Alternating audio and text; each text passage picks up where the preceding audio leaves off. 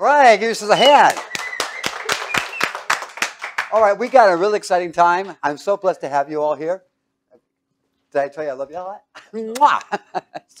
so, Father, I thank you right now for the greatness of your word, and I thank you that we can walk within your truth, seeing ourselves from your perspective as well as each other, to be able to discern that which is truly good in every situation and that which is not. I thank you for your guidance to teach your word this day, this time, for the hearts and souls of your your children, your dwelling place, to truly magnify you and let the world see again your power and manifestation in their lives, just as it was in the life of your firstborn from the dead, our risen and returned Lord Jesus, your anointed. There's a lot of talk about what's good and evil. How would you know? How would have you ever seen evil? You ever heard? Have you ever seen evil? You're like, oh, look, evil right? I see it, right? Have you ever seen evil? Have you ever seen good? So, how would you know what's evil and good? Like this, right? If I asked you for a certain amount of distance with your fingers, it said like seven inches, could you give it to me? All of us thinking good and evil, what is the measuring stick you're measuring by? How do you know what's really good and what's really evil? How many think you know what evil is? That's evil. How many know what good is? How many would like to find out? Exciting? Sounds interesting? Okay. So let's find out what the Bible has to say. Because if this says it's seven inches, and you pull up, pull up the, the uh, I don't know if you ever seen me do that before, right? Give you, I said, give me seven inches. People go, wee, and I go, nope, because I'm using a what? Now, what happens is, what if you're not using a ruler? And you're the only one with the ruler to tell what's the difference, whether it is true or not. Let's begin. Okay.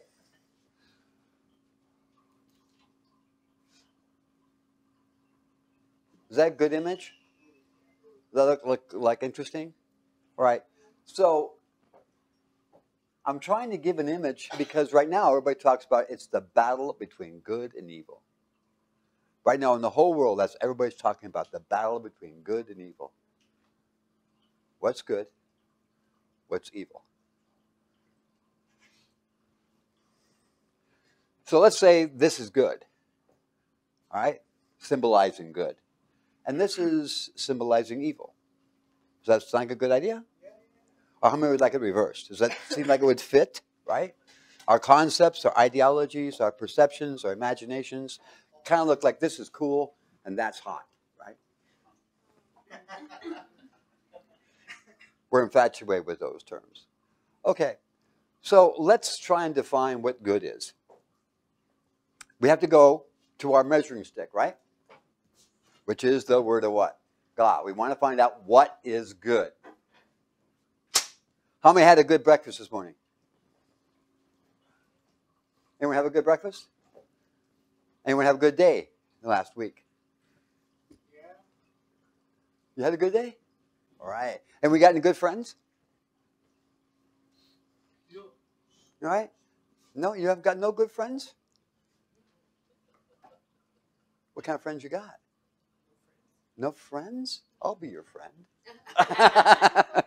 All right. So what we want to do is find out what these terms are because now everybody's like, "Ooh, Frank's going to pull a tricky on me. I just know it." Right?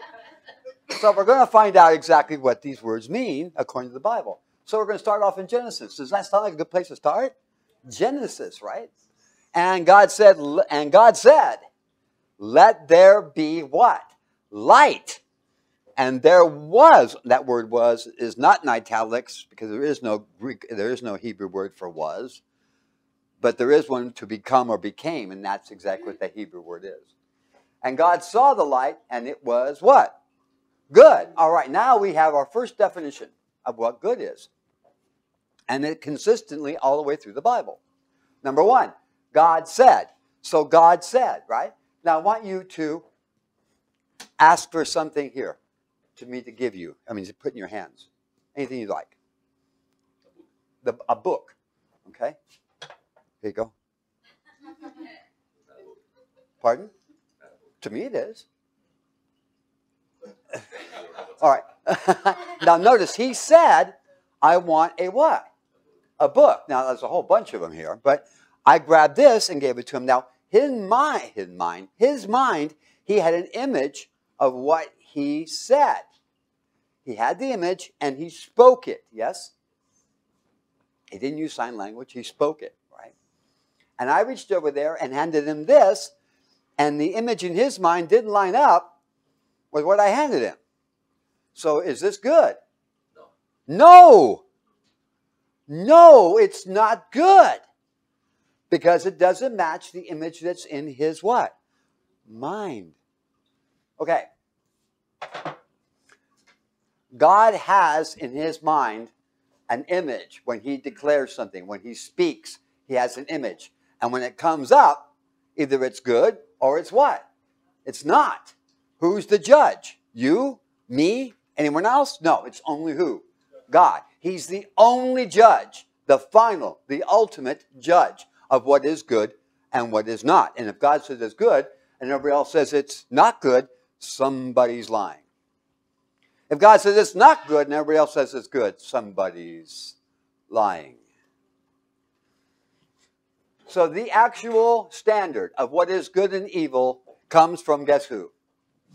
From God. From this point on, we have a dice, we have an actual setting of what is good and what is not. And God said, Let there be light. So, what was there before there was light? Darkness. Repeat after me. Darkness.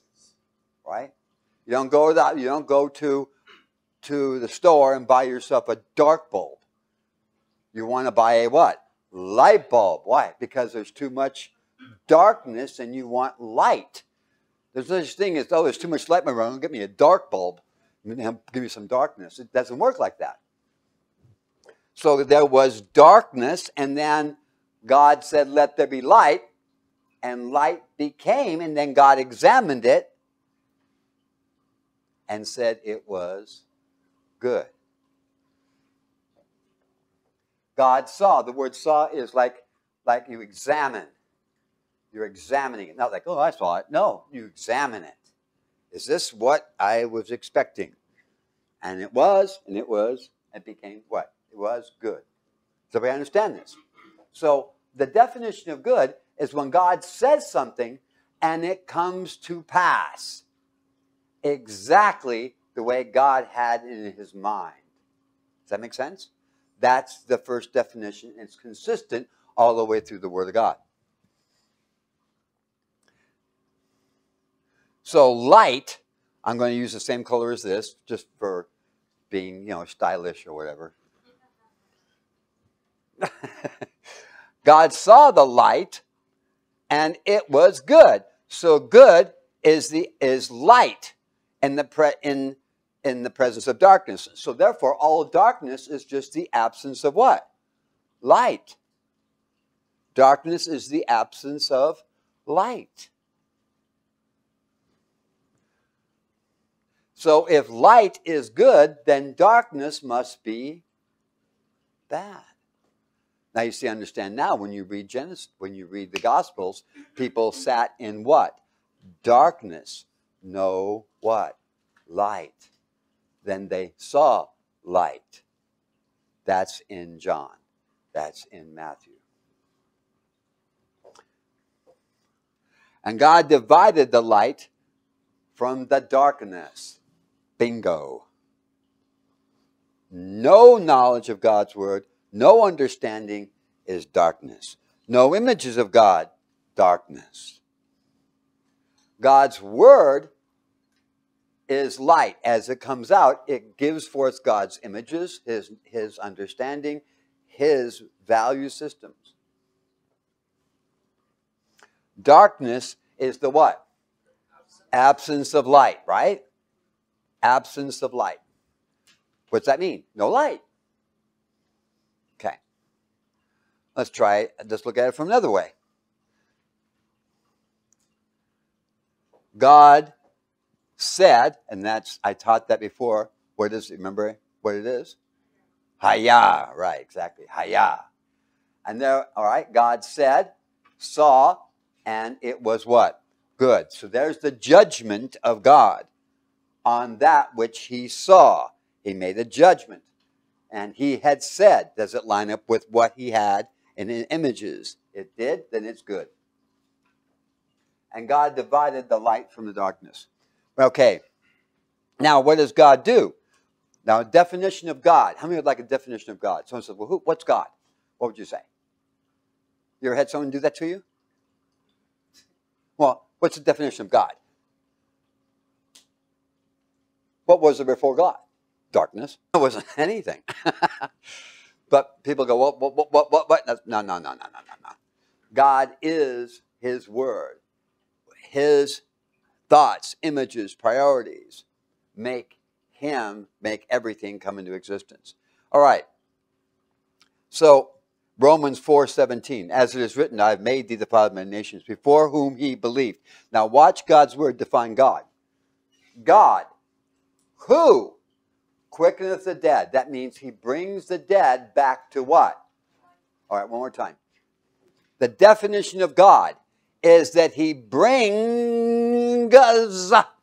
I overemphasized the word, maybe. Anyway, he he. Mm, he bring he quickens, makes alive the what? The dead. If they're dead, the one thing that God does, he brings them back to life. That's number one definition of God. That what God do.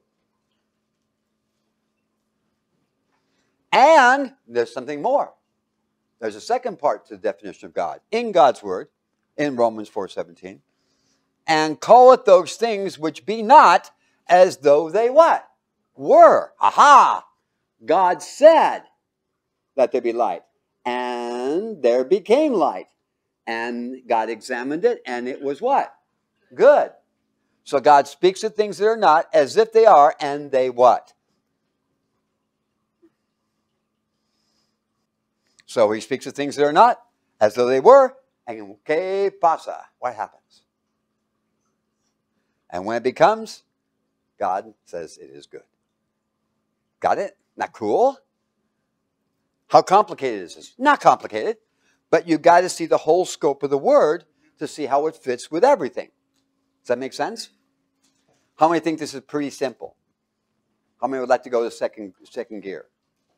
All right, then we've got third, fourth gear, fifth gear. We're going to we're to rock and roll here. All right, you want some more? All right, here we go. Moa time. We all need more time.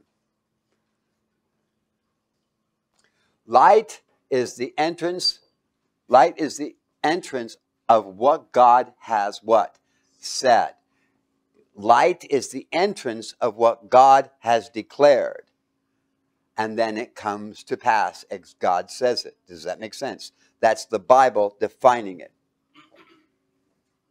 Proverbs 2 6, for the Lord giveth so what? Now I want to know what what light is the entrance of what God says. Well, what's the definition of God's word?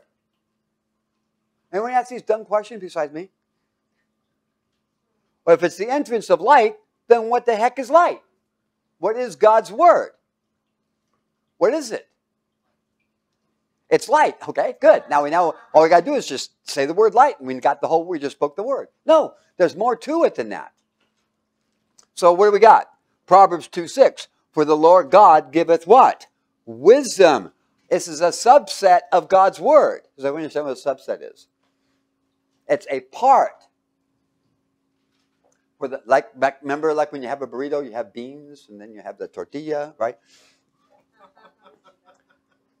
so the Lord God giveth what? Wisdom. This is the ingredients, right? For the Lord God giveth what? Wisdom. Hot dog. Out of his mouth cometh what? knowledge, and all right. That's what the word is. It gives you knowledge, wisdom, and understanding. They go, oh, it's so hard to understand. Well, you must be really low down in the in the ladder there, man, in understanding wisdom and knowledge. Because it really is not that difficult. Just like people like, I can't stand, I can't stand classical music. Why? Because over 100 instruments playing. I just like something simple like a guitar and drum. Keep it simple. I got a simple mind, right? I can only count one on my fingers. Right, all right. Proverbs. So the Lord giveth wisdom, out of his mouth cometh knowledge, and what? Understanding. You guys are so blessed to be here. I am so blessed to have you. All right, here we go. Wisdom, knowledge, and understanding. That's the ingredients of God's what? Word, which is light. Which is light. What's darkness? Where there is no God's what? Word. And God can't go there, God can't work there because there's nothing there. Luke 4 4. And Jesus answered, saying, It is written, nah. it is written, uh. I've added the ah at the end. Right? That man shall not live by bread alone. Where is it written? In the phone book. No, it's not. Where's it written? In the comic books. No, it's not. Newspaper. No, it's not. Where's it written? It's written in the word of what? God. Well, isn't that kind of like a closed circle? Yes. Yep. The man should not live by bread alone, but every word of God. So if someone wants to know God, they got to get into God's word to gain knowledge, wisdom, and what? Understanding. And then they will no longer be in light, in darkness. They'll be in light. So you're supposed to live by this. If you live by it, then you are doing pretty good. Oh my goodness. Because God's word is going to come to pass even if nobody believes it. And if you do, then you benefit from it. That make sense? All right. Ta-da! Now, what about on the other side?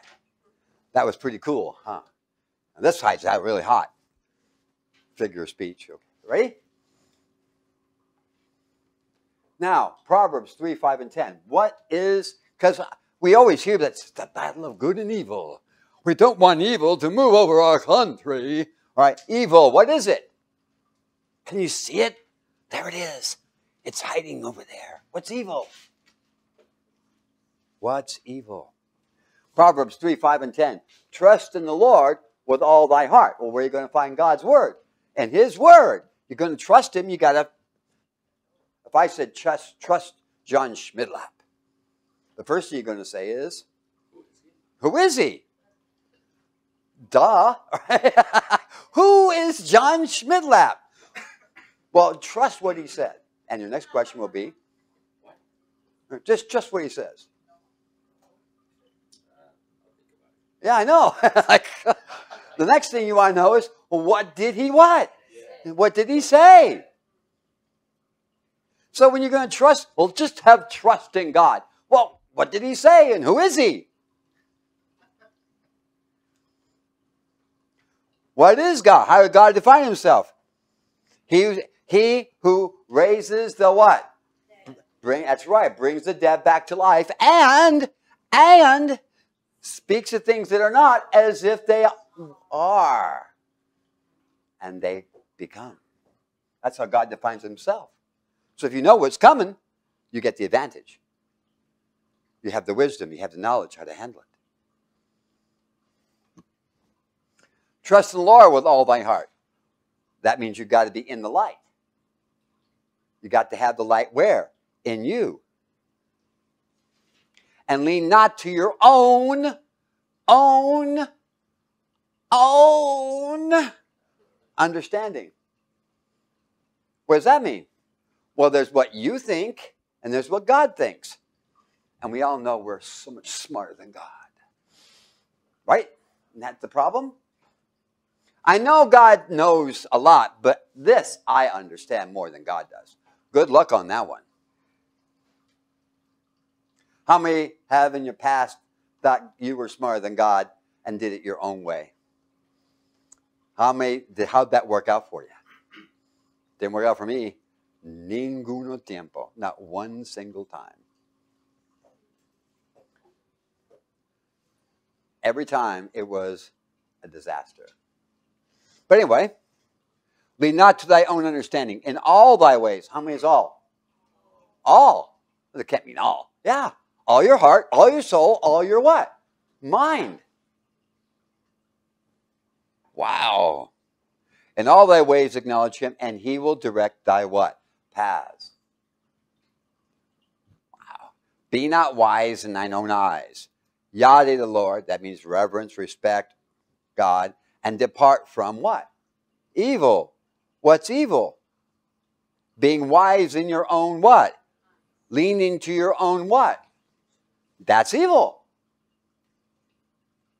That's what it says. By the way, Proverbs is the oldest book in the Bible. It was even written before Genesis. That's pretty intense. Trust in the Lord. Well, you can't unless you know Him and you know His Word. You just don't trust somebody because you beat them. How many, first time you met somebody, you just absolutely trusted them, whatever they said? No, it's not true. You want to know what they think, what their priorities are, what is their purpose, what are they trying to accomplish. But when it comes to God, just believe in God. No, no, no, no. That's Greek and Roman crap. That has nothing to do with the Word of God. You have to know what God is, who He is, and what He's promised, and what He's trying to accomplish. And people have no idea what the purposes of God are. None. Zero. The two evils are your own understanding, wise in your own eyes. That's what evil is. All right. Now, here we go. A little bit more information. Ready? How many people say, Oh, the Lord put me in the hospital? I always, Lord made me sick. What? What? That's not the way it works. Let no man say when he is tempted, I am tempted of God. God tempted me. No, he didn't. Someone says it. Let's say, for instance, I say it, right?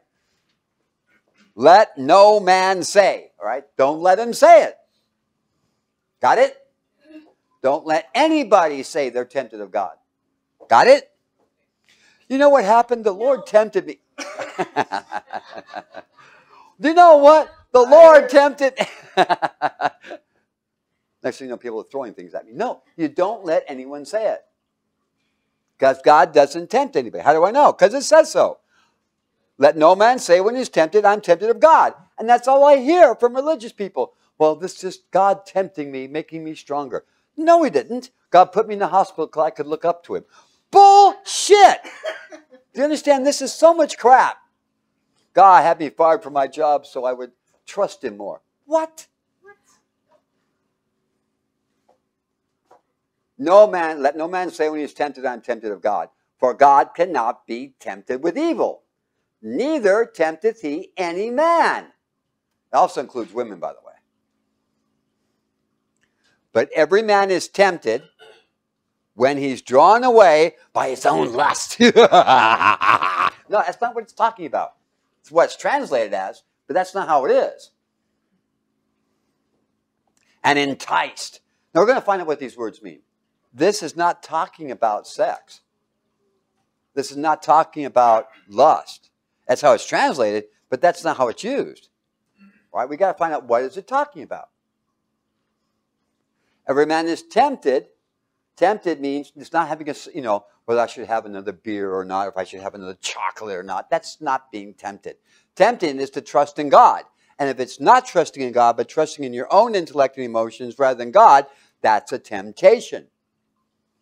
I know that's what God's word says, but, all right, something just tempted you not to trust in God, but to trust in your own what? Knowledge, wisdom, and understanding.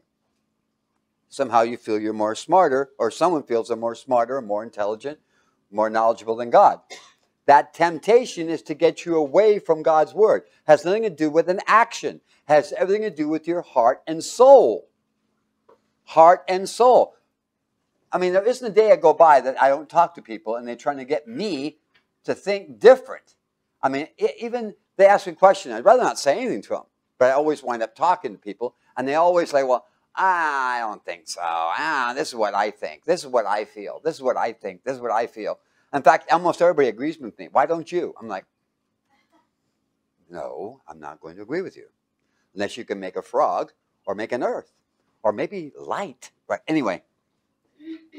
God cannot be tempted with evil, neither tempted to any man. But every man is tempted when he's drawn away of his own. That word there is simple desire. That's all it means. Simple desire.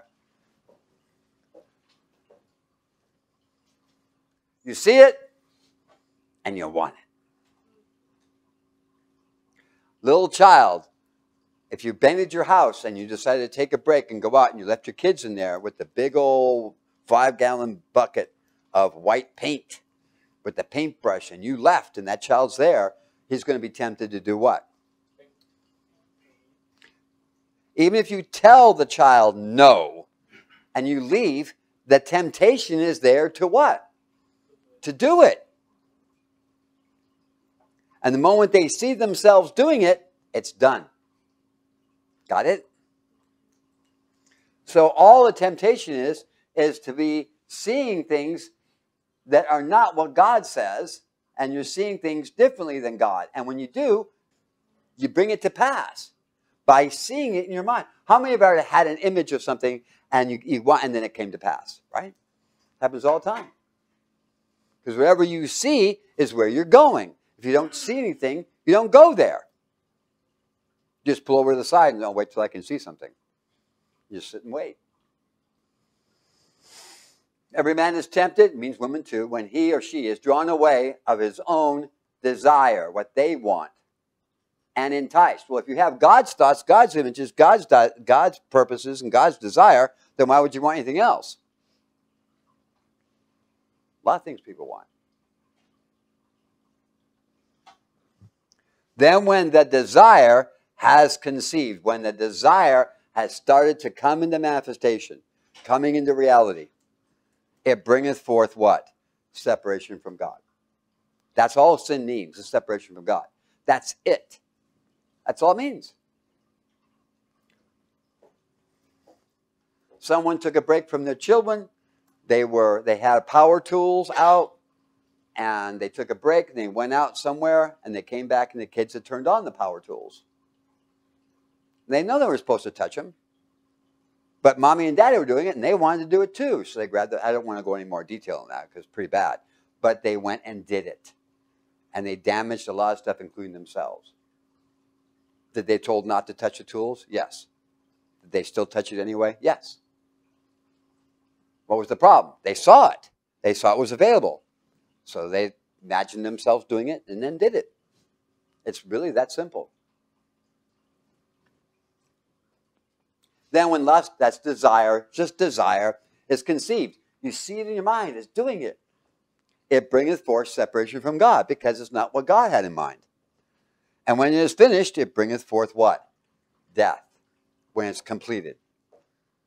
Because it's not, God is the source of life, and that which is contrary is the source of great sorrow and shortness of days and a lot of nasty stuff. God will never lead you in the wrong way.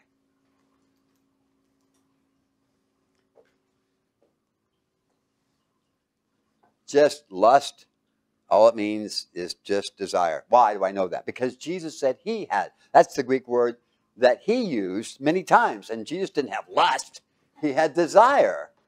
He desired to be with them in, in the Passover, he desired to go to Jerusalem.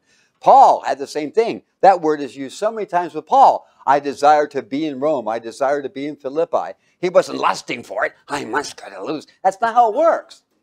That's not it. When people think of lust, they have a, they have a totally weird concept. And bringeth, okay, his own lust and enticed. Now, that word enticed is really interesting. That, deleazo. Deleazo is a really weird word. It means a baited hook. What it means, a baited hook. And it's just like, what? How? What? it's not the object, it's what the fish decides to do. That baited hook is worthless unless the fish decides to what?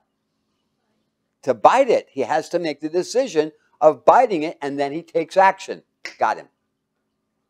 It just means Deleazo, deleazo means a baited hook. When you picture taking it, it comes with a hook. That's the word enticed. It means a mental decision to accept it in your mind. And then the first action, bang, it's done. It's the decision, the mental decision. So this first is desire is emotions. 98% of everything we get, we, we put in front of us, our emotions dictate it, and then our brain tries to justify it. 98% of the time when you make a decision, it's emotional. They've already done the research. They've actually plugged up to the mind to see when the emotions make the decision. And 98% of the time, the emotion makes the decision, and then the brain justifies it. Just like children. They do something, they say, Didn't I tell you? Yeah. Why did you do it? Because. And we train our children to start imagining and coming up with, you know, reasons. There's no way they could explain why they did it. They just did it because they just went, they had the desire and they took action. But we're still like little kids. Right, and that making sense. All right, so this is, we covered the good and we covered the bad.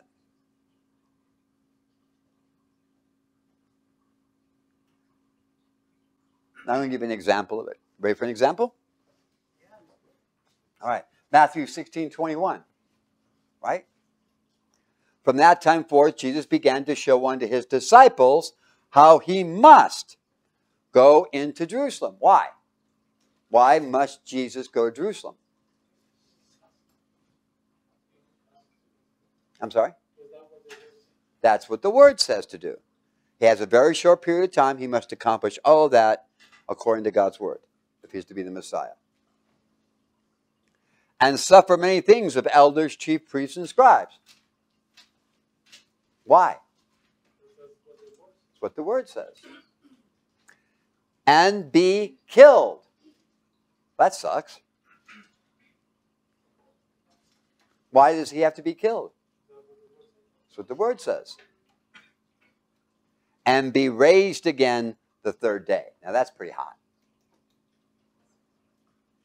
Did Jesus get up from the dead? Uh, yeah. Did they try and keep him in the ground? For some reason they tried. It was kind of like dumb. Did he eat? Yeah. How long was he hanging around? With his disciples for 40 days. So he was around a long time. Right. So Jesus says these things. I must go to Jerusalem, suffer many things of elders, chief priests, and scribes, and be killed and be raised again the third day. Then Peter took him right? Grab me. That's not grabbing me. There we go. Okay, there we go. All right, let go now.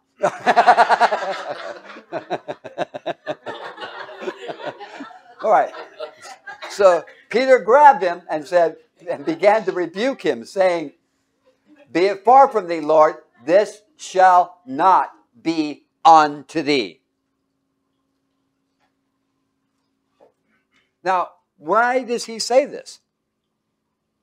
Because emotionally, he doesn't want Jesus to go through it. Yes or no? That's his emotions. And then when Jesus said he had to stand up and stop him. He made that decision and acted on it. Uh, imagine Jesus going, You're right, Peter. I shouldn't have to die. You're, you're good point. No, bad idea. But he turned and said unto Peter, Get thee behind me, Satan. Wait a minute, Peter just became Satan? No, he's working for the other side. He just changed what? Sides. He just changed sides. You hear what I said? He just changed sides. Why? Why did Peter change? For is what? For is reason. Thou savorest. He likes to munch down. No, it doesn't mean munch down. That which you desire, that's which your mind accepts. That's why they, I don't know why they translate Savior, uh, Saviorist, because I look at that Greek word, it's like used throughout the New Testament. It just means an orientation in a certain direction where you have the desire and you have the mental decision. Thou savest not the things that be of God, but the thing, but those that be of what? Men. What men? The men that are around him, the men that are in the city, other people. And you savor what you concern and focus your mind on what they said and not what God says. And Peter joined the other what? Side. What he, well, he, it sounds perfectly normal. This shall not be unto thee. I don't want this happening to you. I, man, I do the coolest things in sliced bread. I like hanging around you. You understand the problem? What is God's will on this? God makes a judgment. How many have actually actually ministered healing to somebody who was supposed to be dead or close to death? You ever had that happen? It will. But the question is, sometimes it don't work. And the reason it don't work because you made the decision to try and tell God what to do. You made the decision that person should not die. And that was a bad call because you don't know. If that's it, that's it. There are many people, I mean, there was over 20,000 people that had leprosy, yet Jesus only ministered to 10. What about the other 19,000?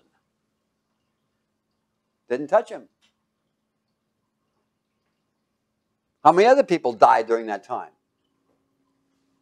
There were four people that he got back from the dead. What about the rest of the people that died? Nope. There's no life on the inside. It can't overpower to bring them back to life. Do you understand? So when you go to minister to someone or you're going to, to change the situation, you, you're not going to be able to do it unless God, because you and I don't have any power. Like we have zero. But if God says you can do it, then guess what? You got it. And don't back off of it. Act on it. Learn from it. And be amazed. Doesn't matter what the doctors say. Doesn't matter what the surgeon said. It doesn't matter. God says it, that's it.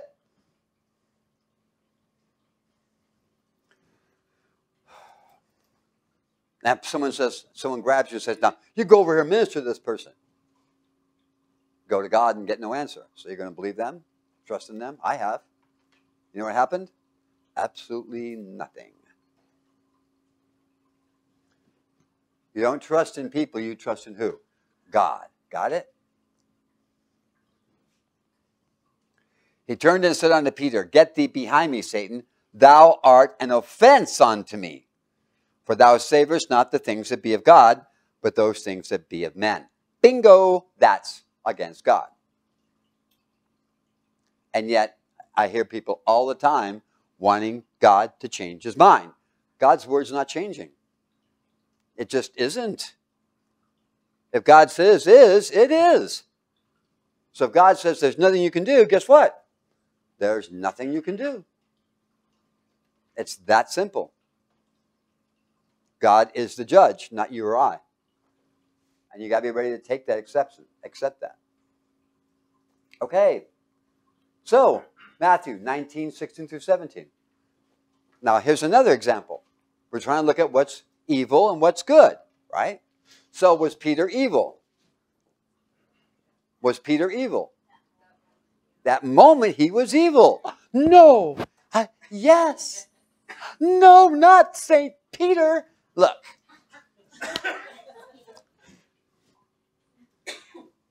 he swore too. No, not St. Peter. Oh, yeah, he swore. He swore a lot. This, and most good sailors do anyway. So, anyway. And behold, one came to him and said, Good master. Called Jesus what? Master, right? And he called him a good master. What's good? What does good mean? Right. When good is what God declares after his word is coming to pass. It's a judgment only by God, right? So, who said that Jesus was a good master? He did. But who's he to say who Jesus is? There's only one way to find out if he's good, if he gets raised from the what? He hadn't died yet. You see, back at the time when Jesus was, was walking to, and carrying out the ministry, there were nine, 199 others. There were 200 people claiming to be the Messiah. There was the Essene Messiah, the Pharisee Messiah, the Herodians Messiah, Sadducee Messiah. They all had, they all called themselves the Messiah. Real simple. Get put to death and see if you get up from the dead. Good test. You understand the problem? You have to go and you have to suffer. You have to be put to death and get raised from the dead, or you're not the Messiah. There's only one person that's made that qualification so far, and only one. So I'm kind of like on this side. That make sense? But after going through all the, oh my gosh, I was like, what? And you find when Jesus was being, when he was being tortured, he said nothing, went through it. Another person was also being tortured and getting ready to be put to death. His name was Barabbas. He was the, the uh, Pharisees' Messiah. And they called to have him released and not Jesus. They weren't too sure he was going to make it. And they were sure Jesus wasn't anyway, so it's like no big loss. You understand the problem here? People walk around and go, I don't know what, what's of God and what's not. All right? You ever go to a church? You ever listen to them? Do you have any idea what they're talking about? You ever wonder why people have no idea anything about God? Because we don't open our mouth. If I'm in an elevator and there's someone in the elevator with me, I've got to say something. I've got to say something. Hey, aren't you fortunate to be in the elevator with me? They look at me like, I have a lot of fun. All right, do you understand? If they, they, the only way they can know the truth unless you or I open our what? Our mouths. Because all they got is lies and other lies and other lies. That's all they got. So how can they know the truth? They can't. The Bible interprets what? Itself. So what's evil? Well, you know, it's that guy with the with the red suit and the horns, and he's got his trident. It's like, where is that in the Bible? It says he's an angel of what? Light. He says some guy dressed up in a freaking red suit with horns. That's not in the Bible. I'm like, what is this? So there's a Greek and Roman religion. They believe in that, and that's where we get it from. Has nothing to do with God. What good thing must I do? May I ha- that I may have eternal what? That doesn't say wife, it's life. All right, eternal wife. And he said unto him, Why callest thou me what? Wait a minute, Jesus wasn't good? Do you understand what he just said? He's not what? Why callest thou me good? Why? How many think I'm good? No, wrong person. Ain't nobody good. There's none good. No, not one. And Jesus is no exception. He never makes a judgment unless God gives him the call. That's exactly what it says in John. He does not judge what? Anyone. But if he does judge, God says, here's your judgment, then that's what he will do. But he's not the one to make a judgment, neither are any of us. I can't judge you, and you sure as hell can't judge me either. So there.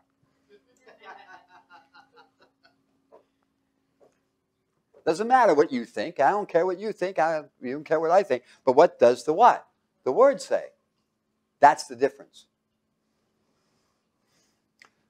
So if you tell me something terrible about yourself, I'm just not going to listen. All right? I'm sorry. I'll, I'll sit there and go, mm-hmm, mm-hmm, but I'm not listening. I won't hear it. I'm sorry. I don't care how screwed up you think you are. I'm not going to listen to you. Just not. Because you are what the word says you are. So And you think that? What if someone comes up and tells me something bad about you? Freaking don't care. It means absolutely what? Nothing.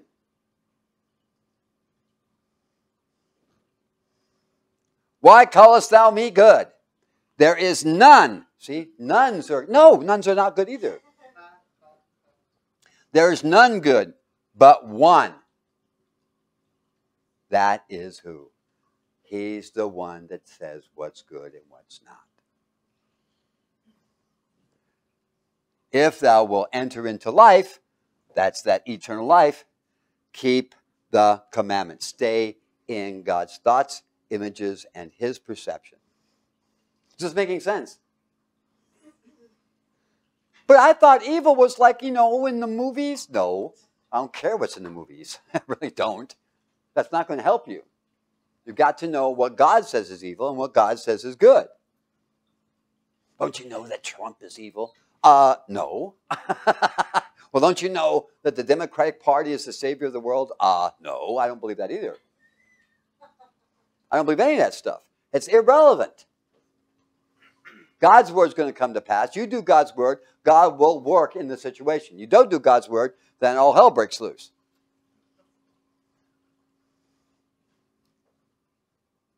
Acts 10 38 through 41.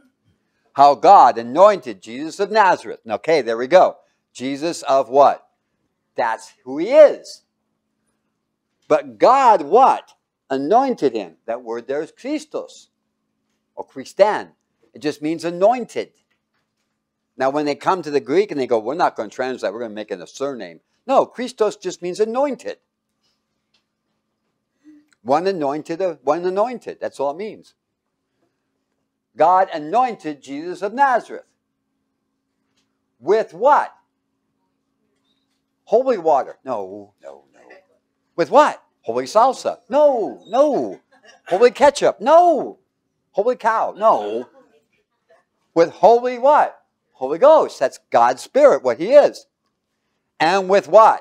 Power.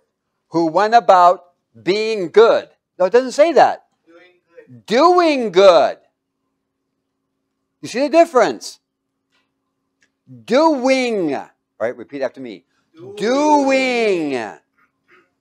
But when you're doing it, then you're good. No, you're not. You're just doing good.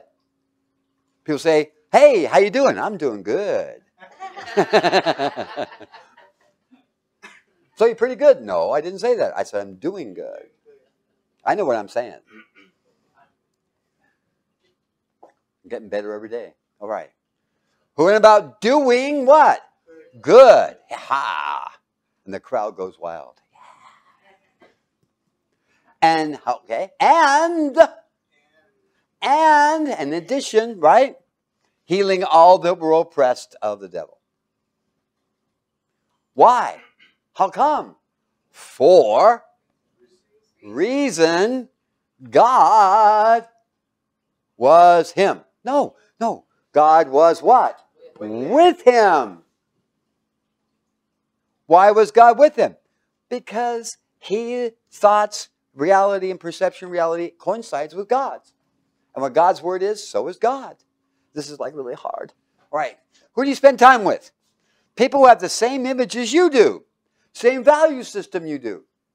Why don't you spend time with German people? Because you don't have the same value system and you don't speak the same language. In fact, they're downright strange sometimes, right? we got how many, how many different cultures in, the, in San Diego? Well, how about the Japanese? I can go over there and spend time with them. That's cool. So it's doing what? Good. Not just knowing good. Not, I have to be. You can't be good. You can't be good. That's already taken. Who's got the position of good? God. Well, at least I can have a good breakfast. No, you can't. All of a sudden, God said, Let there be fried eggs and sausage. And all of a sudden became, right? No, it doesn't work like that. We get it all mixed up as to what's good. We get all mixed up as to what's private interpretation, what we think, and because we are going to go by what we believe is right. No, it doesn't work like that. You want to know what evil is? Ta-da! Want to know what good is?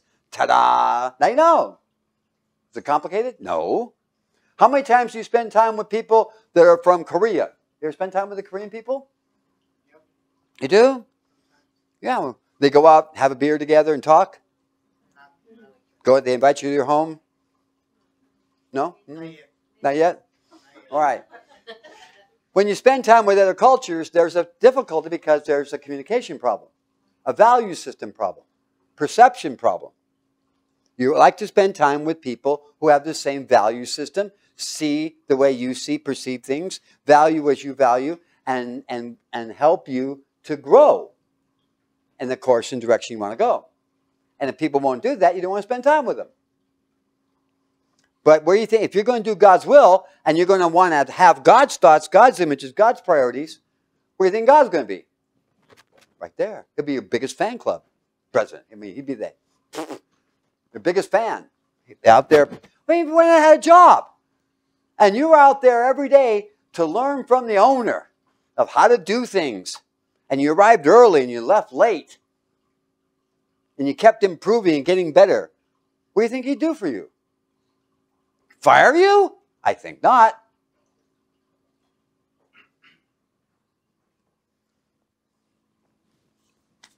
How God anointed Jesus of Nazareth with the Holy Ghost where ghost is pneuma, which means spirit, which is breathings, thoughts, images of God, who went about doing good and healing all were oppressed to the devil. For God was where? With him. That means he's thinking God's thoughts. You think opposite God's thoughts, opposite his value system, you and God are no longer together. That's called sin, which is stupid, but that's sin is like you can be a little bit off or you can be way off. Like, for instance, if you had a big dart, how many of you ever played darts? You know what darts are, right? darts are these little things, right? That you go, boing, right? Right. Now imagine we're playing darts, right? There's the bullseye. And I go, right? And I throw it, and it hits the wall. I missed the red target. What's that? That's sin. I got I hit the wall, I didn't hit the target. Right? So I go like this again and it goes, whoo, and hits the ceiling. Now I'm missed it again. That's sin, right? So I grab it and I go like this, and it flies and hits the other side of the wall. That's really messed up. Thank God no one was standing there. Oh, I'm sorry. All right. but you understand? Sin is, is there's it's ridiculous because if you look at the Hebrews, like what you do, the whole thing boils down to you don't have God's thoughts, God's images, God's perception, God's value system, you are and God are separate. God told Moses to do something. He went, okay, and did just what he thought he should do. From that day on, he couldn't enter the promised land. He was finished. Terminated. The moment Peter said, that far be it from me, Lord, that shall not be unto thee. At that moment, he was on the verge of being what? Terminated. Got it? He changed. But if he'd stayed that way, he wouldn't have been an apostle very much longer. Like there's this problem about trying to get Jesus not to do the word, which would really have been a bummer. Do you understand the complications of this? All right. For God was with him. And we are all, this is Peter talking to or uh, Cornelius. And we are all witnesses of all things which he did, both in the land of the Jews and in Jerusalem, whom they slew and hanged on a tree. Him God raised up the third day and showed him openly. Not to all people, but on the witnesses chosen before God, even to us. Who did do what? Eat and what? Drink with him after he rose from the dead.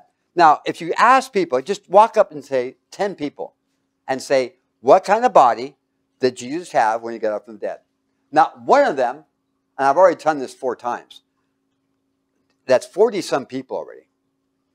I said, What kind of body did Jesus get when he got up from the dead? And they all said it was a goosty body. Know, ooh, ooh. Just, that's not what it says. That's not what it says at all. I mean, could he eat in that body? And everybody goes, Nope. I'm, I'm, that's not what the word says. Because the real problem, if you don't believe Jesus got up from the dead and can eat, then what the hell are you hanging around for? You understand? The reason we're in this, because he's the first one that ever got up from the dead and could eat and drink. I didn't say about smoking, but I mean, I don't know if I can be able to do it. You know, my new body will I'll be able to smoke a pipe. I don't know. I'll try and sneak one in.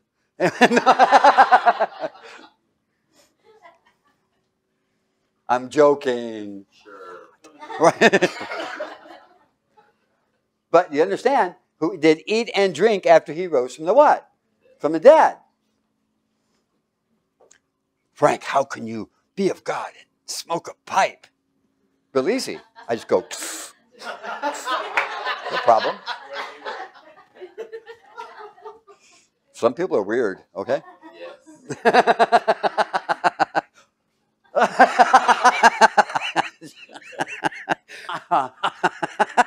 I, don't judge me. All right. now we want to find out who's the, the first original jerk. I mean, the first one who came up with the bright idea to go against God. Whose idea was it? The adversary. All right? Now this is like really cool because we're understanding what is good and what is what? Evil, right? Now in Spanish you only have one word, bad. Well, bad is like not as bad as evil. What? There's daimonion, right? Or di, uh, daimon. Well, that's demon. That's like totally insane. But what's the word for evil in Spanish? Mal. Well, what that? What's the word for bad? Okay, we're not going any further. All right. You can be evil, which means you deliberately did it, full well, full knowledge, and then bad is just happened. You just did it, whether you were ignorant or naive. But in Spanish, it doesn't matter if you're ignorant or naive or you did it on purpose. It's bad. It's just like you know, okay. But that's what we have laws that say what is the well, it's the intentions. What are your intentions? Were they bad intentions or and was it did you kill the guy because you wanted to or was it involuntary manslaughter by an accident? But I guess in the laws in, in Spanish culture, it doesn't make any difference if it was an accident or on purpose. You killed him, right? Supposedly. Okay. If you go to jail, go to jail over here. I'm just saying. All right. All right, and the serpent was more subtle. That means slick, right? We have another in English. We have slick, right? Real slick. I don't know what else you could say it. Devious.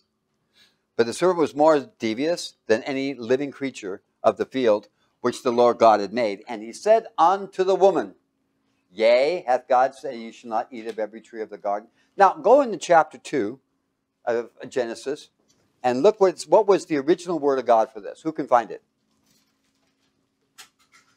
What was the original commandment that God gave? Because God only supports His word.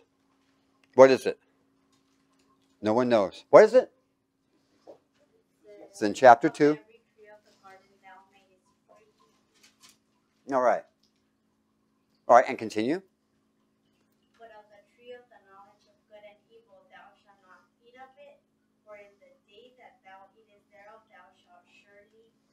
All right.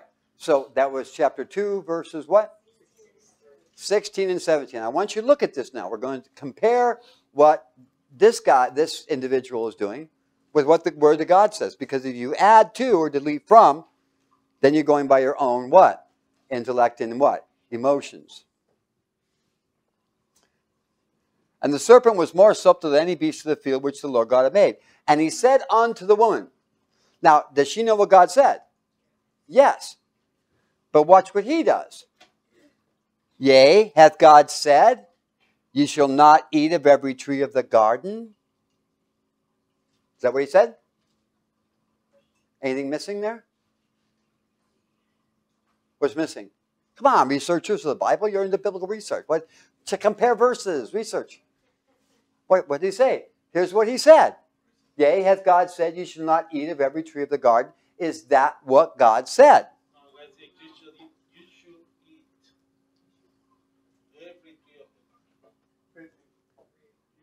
Freely.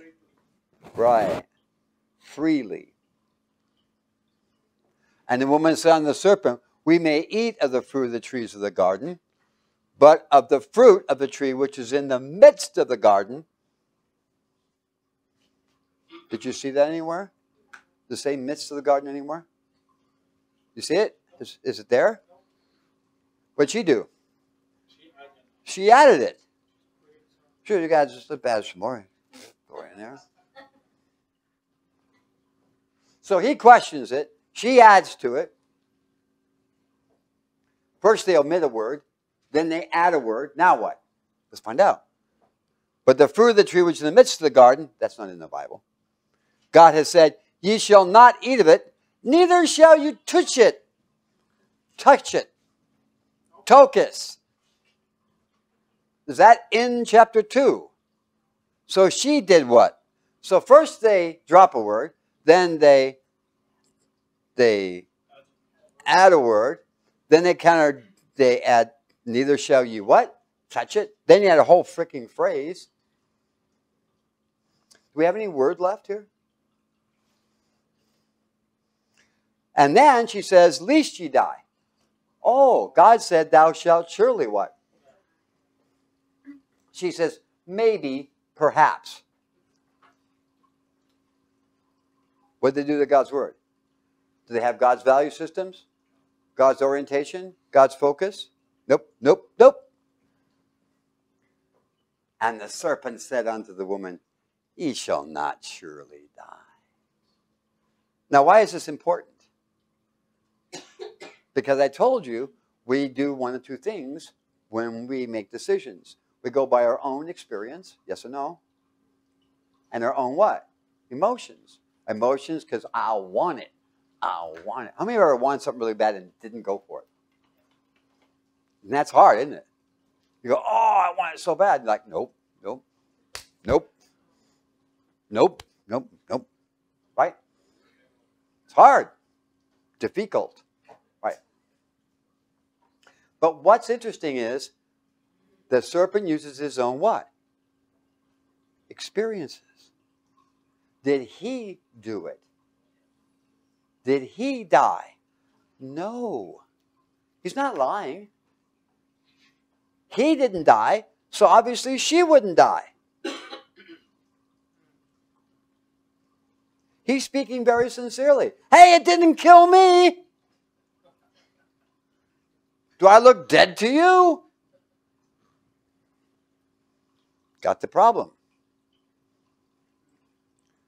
Do you wear glasses? Well, I need to wear glasses, so if I wear your glasses, I should see perfectly, right? I think not. now you can quote me. I think not. All right. Anyway, ye shall not. Who's? Where's his source of reference? Himself. He made that conclusion from his own experiences, and he is wrong, dead wrong. He can't die, but Adam and Eve surely can. Does that make sense?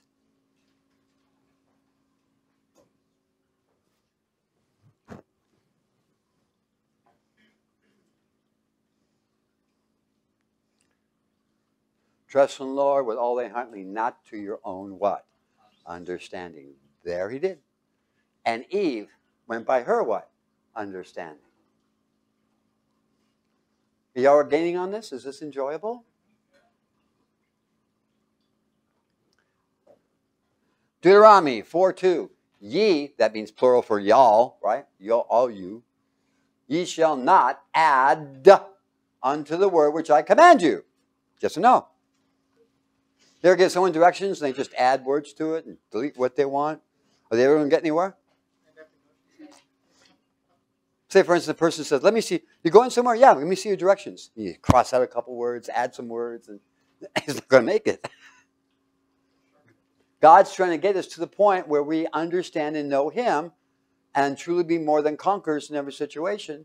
The Word of God is not made for bad, good times. You know that? There's no place in the Bible where it's good time Word of God. It's all bad time Word of God.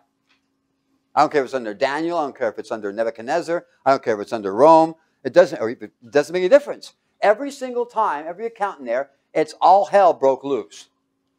And these people could not be touched. They could not be harmed. It's not a good time book. It's a bad time book. how to take your life and turn it around from being an absolute disaster into something great and wonderful. Isn't that cool? Of course, we don't need that, right? We got the government to cover us. Whoa. Okay. You shall not add unto the word which I command you, neither shall ye what? Diminish aught from it, that you may keep the commandments of the Lord your God which I command you. So you get, if you ever read Deuteronomy chapter 28, it tells you your blessings. All the things, you'll be the head and not the what? The tail.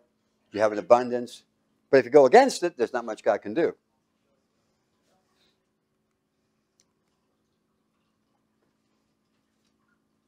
When you do that, you're, if you do this, then you're doing what? Does that mean you are good? No, it means you're doing good. Got it? Doing is not being. Doing.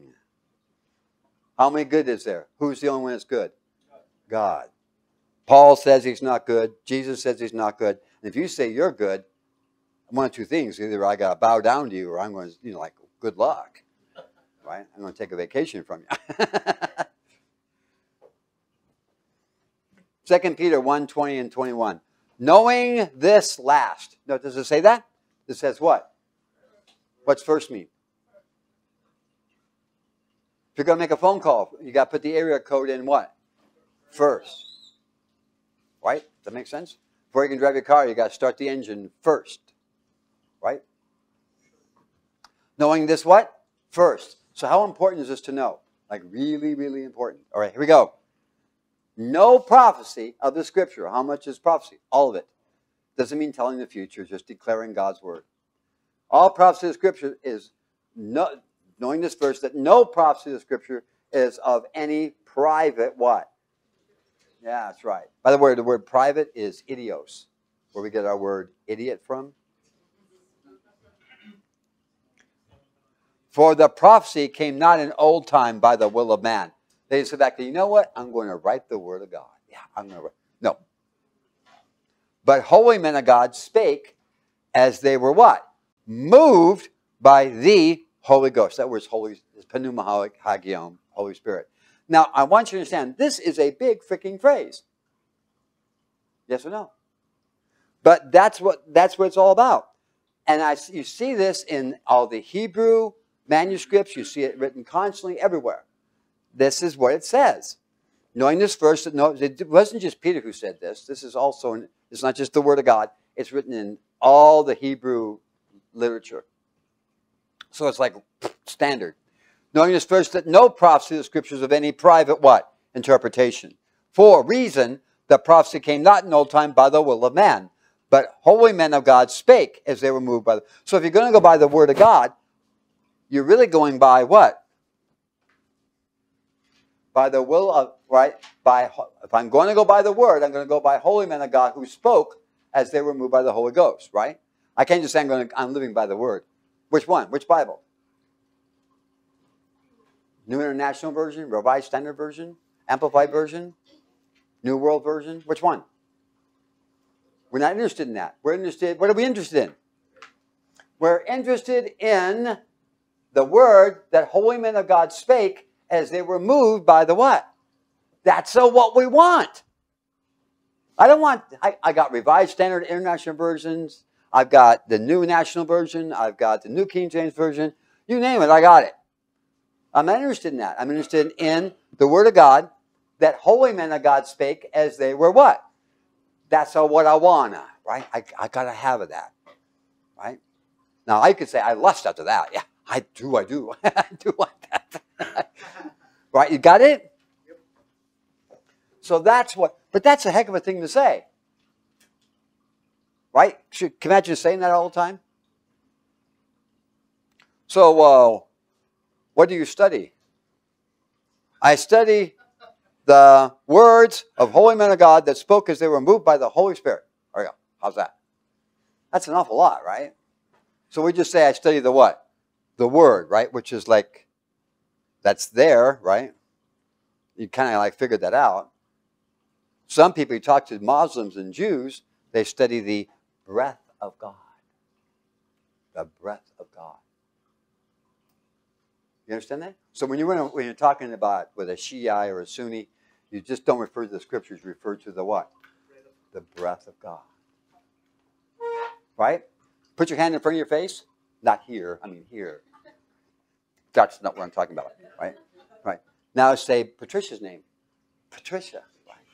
Patricia. Do you feel it? What'd you feel on your hand? Snot. No. What'd you feel on your hand? You feel the air? That's called what? Pneuma. You, you felt the pneuma, the movement of air.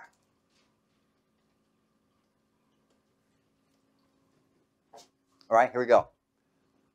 I'm going to say I love you. All right? Now you say I love you. Now look at that smile. Oh, you didn't smile like that for me. but you understand? There's the pneuma. What are you laughing about? you understand? Your emotions dictate how you what? You breathe. So in all the Asian languages, it's your breathing, not your words. It's your breathings. When people say, yeah, the knowing this first and no of any private interpretation. Wait a minute, wait a minute, wait a minute. That's he's not saying it what? Correctly. The breathings are what? Wrong. All right. But holy men of God spake as they were what? Moved. That's what you're after. Okay. Is it break time? Oh, good, because that's the time for a break.